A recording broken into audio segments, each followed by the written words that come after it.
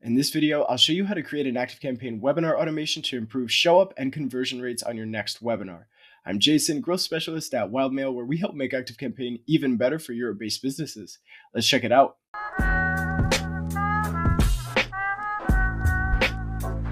So, first, this is going to be for live webinars with a set date. Uh, at the end, I'll give a quick overview of how you can set this up for evergreen webinars and get super, super uh, personalized with your emails, your automations, etc. But for this one, we're going to do it for a live webinar, set date, and why do we need one in the first place, right? If we're running a webinar, we're getting our traffic in, we're getting people to sign up.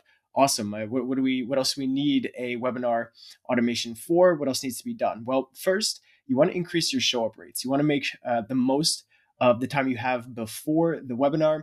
Maybe that's uh, framing. Maybe that's you know just simple reminders. Um, maybe that is giving them some homework before they get onto the webinar.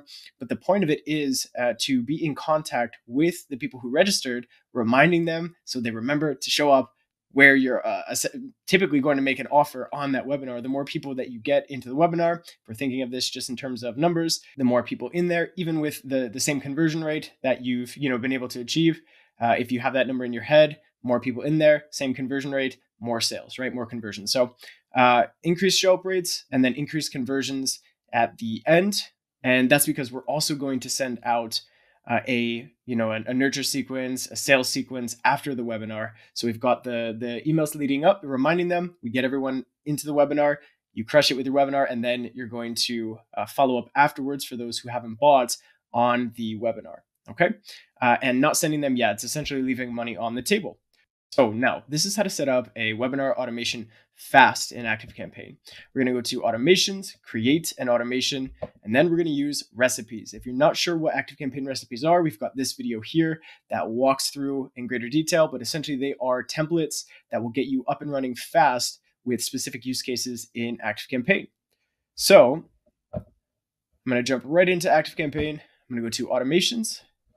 In the top right, I'm going to create an automation and I'm going to search webinar.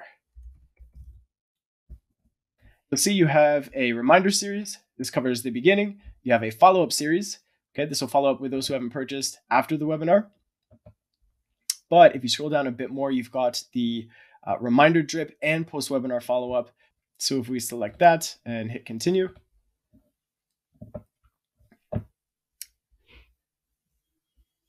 And now here is why we're able to do it so fast. We've got the automation setup wizard here that's going to walk us through step by step uh, what we need to do to get this automation up and running. So if I hit get started, I'm going to go through these um, these different steps and the instructions.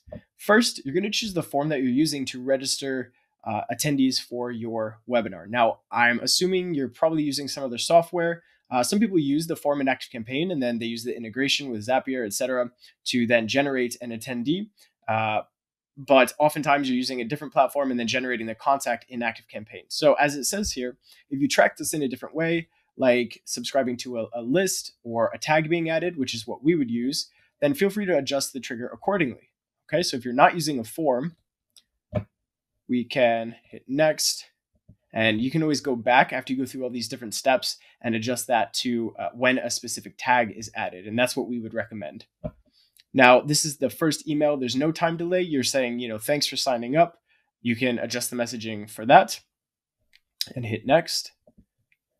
And again, you can't see it fully in the background, but this is just walking you through each of the action blocks back here uh, in the automations. Each of these gray uh, action steps are the send an email, the yellow are gold, which will allow you to pull down uh, the contacts who register after a reminder. So they're not going to receive, you know, the um, seven day reminder. If they register for the webinar on, you know, five days beforehand, we don't want them to receive the seven day reminder. So we're going to pull them down to one of those goals so they receive the appropriate messaging, uh, appropriate emails leading up to the webinar. Okay, so you can see this here, jump to this action when the following conditions are met. This goal waits until it is seven days or less until the webinar, and it's, it's gonna hold contacts there like a wait step uh, until those conditions are met. And to do that, you're gonna fill in a webinar date field here. And this should have the date of the webinar that uh, you're, you're hosting Again, this is for a set date webinar. Uh, if you don't have the custom field, in order to do that, you can jump into contacts, open up the nav bar, go into fields, add field, and it would be something like webinar, date, time. If you have a, a, webinar group of custom fields for your contacts, go ahead and select it, and then make sure you select the uh, date field type. Okay, and just hit add. So back here, one other thing to note, if you're adjusting the uh, time before the webinar that this email is sent, it's a bit confusing, uh, in my opinion, the way that ActiveCampaign words it. But when it says webinar date is on or before current date plus seven, uh, the plus is back. the plus is seven days before. So plus is before, uh, minus is going to be after. It's a bit confusing, but if you keep that in mind, uh, you'll be able to adjust the uh, date for this. Okay, we're going to hit next.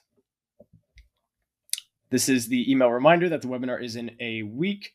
So you can add relevant links, get them, you know, fired up for your webinar, maybe assign homework, uh, whatever it is that you do to get them engaged uh, and make sure that they are ready building up to the webinar. Okay, they're staying engaged uh, and they're looking forward to attending. What next? This goal is going to wait until one day beforehand and again hold the contacts like a wait step so we're going to choose the webinar date is on or before current date plus one and hit next. And this email is the uh, your webinar is tomorrow reminder.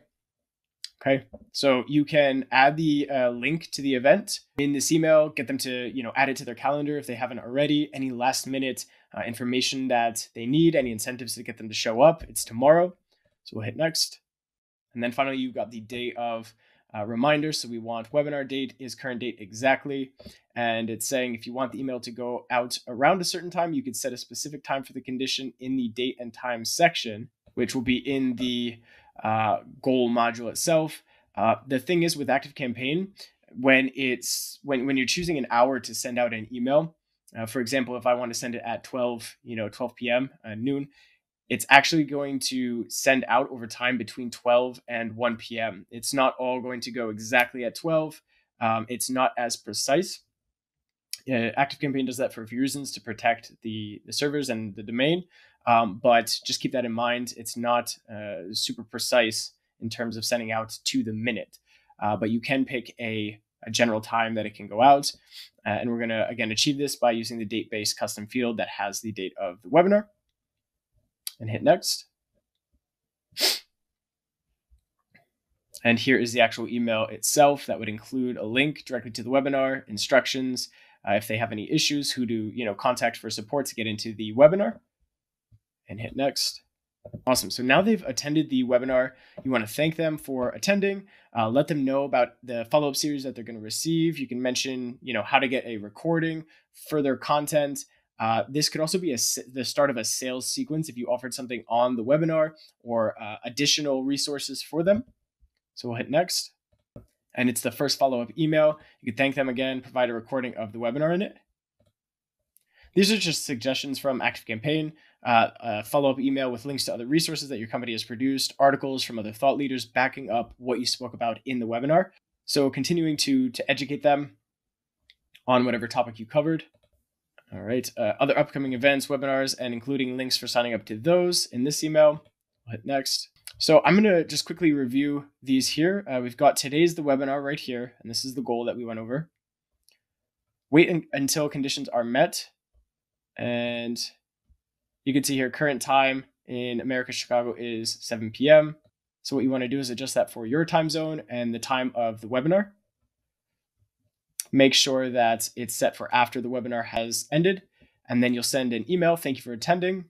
Again, wait until conditions are met. So this will wait until the next morning, 8 a.m. Adjust this for your time zone, sending the first follow up email.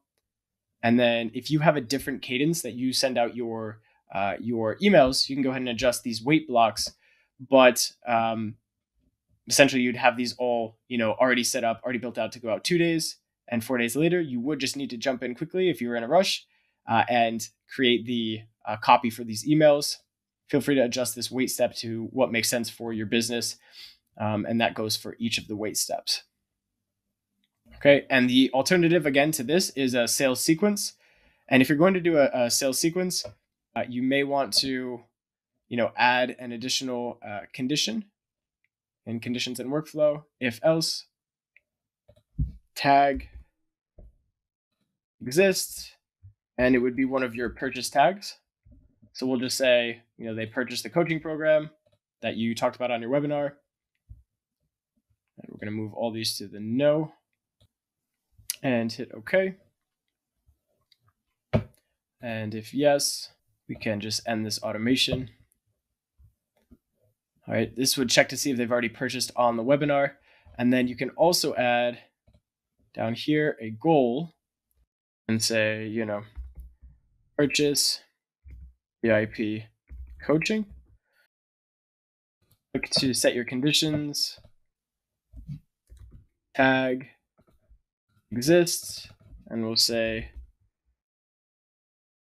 purchase VIP coaching program. Hit save. Below contact's position and continue anyways. We'll hit save and then add the end this automation at the end. And now, whenever someone has that tag, they'll just get pulled all the way down. Uh, there shouldn't be another way that they would receive it before the webinar because what you're selling is on this live webinar. Just keep that in mind. Otherwise, you know, at any point that that tag is added to them up here, they can get pulled all the way down uh, to the end of the automation.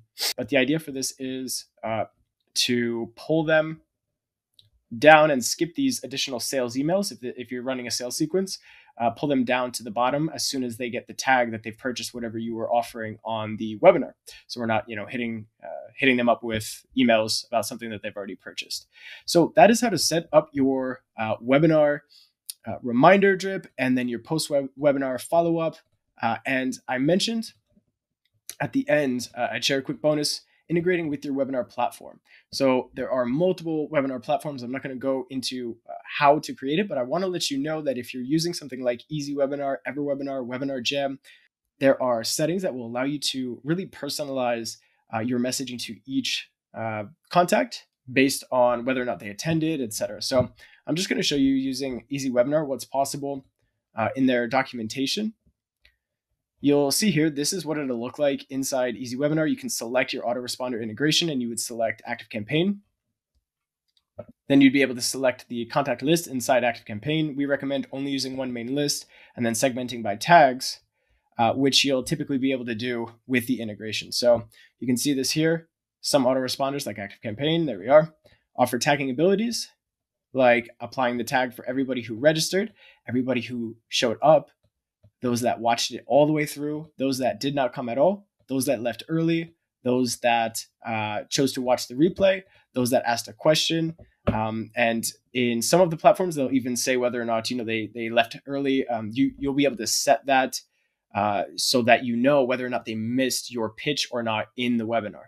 Okay, so you'll know exactly how to tailor your messaging based on those tags. And in ActiveCampaign, once you've tagged them with these different tags here that you can see, registered, came to, watched in full, did not come, left early, watched replay, asked questions, saw offer but did not click. There's that one there. Uh, if they did see the offer but they, they didn't click through, uh, you'll be able to add that to the contact in ActiveCampaign. And then using conditional content, which I can show you here, in your emails, I would go into uh, this one here, and using conditions, you could first, you know, check for uh, if else tag exists. And you want to check for your tag to see whether or not they attended, whether or not they stayed, etc. First, I would check to see if they attended or not because we don't want to say thank you for attending if we know that they didn't. So there's your first step of personalization. Uh, you can adjust the subject line and then in the copy, if I go into edit, you'll see here, this is nice that they uh, get you started with all of the copy as well. So you can go ahead and really get this set up quickly. Uh, but if I add this here, an additional block, and I can make this conditional, and I can say tag exists. And let's just say webinar ended, just as an example, and say okay. We've got that one for thanks for your time today. So this this text block here in the email will show if the tag webinar attended exists, which we'll be able to add directly from our uh, integration, or this one here, we can make conditional and say, again, tag exists, webinar left early.